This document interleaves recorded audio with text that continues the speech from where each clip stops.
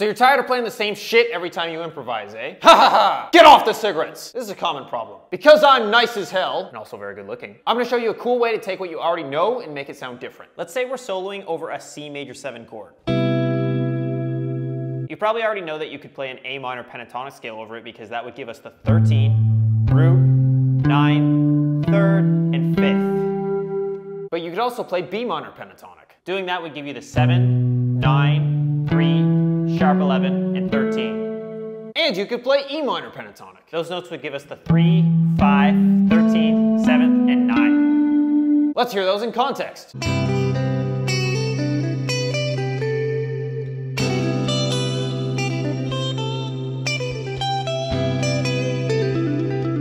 Just make sure you know what key you're in. This works great if you're in the key of G, but if you're in the key of F, not so much, and you would have to change things up. 52 Week Guitar Player reopens for enrollment in mid-June.